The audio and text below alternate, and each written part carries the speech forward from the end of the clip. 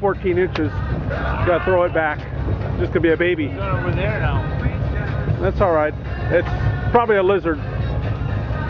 See, that's what yours was doing the last time I thought you had one. Yeah, look at it. Yeah, I think it may have one.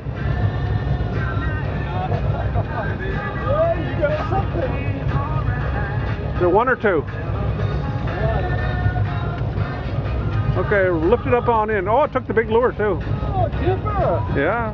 Just throw them in the tank and get the other rod. It's more than an hour of continuous music for you, Ted taking fishing for Carrie Steele this morning. Here's the gal notice. Adele, big year for her last year. In fact, Okay. so many downloads, we'll call her Adele Downloads. Hey, you can go ahead and take it off the hook if you want to, Ted. You want to take one off the hook, measure it. Is there still one on there? You're gonna bring it across. Bring it back backwards, uh, Roger.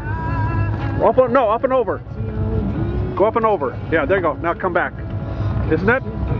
No, maybe you're underneath it. All right. You're underneath it. Yeah.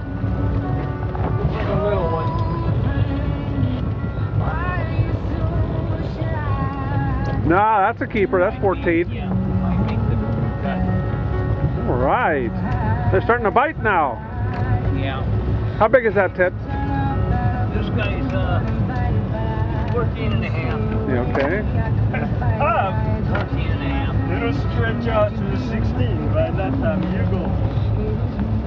That's only 13? No, no, Keep up. coming, keep coming. There you go, right there. Right there. That's 14. Okay, that's where it's supposed to be, Ted. Yeah, but by the time we go home, it shrinks halfway. No, no, that's the correct way. So these were uh, swimming together, must have.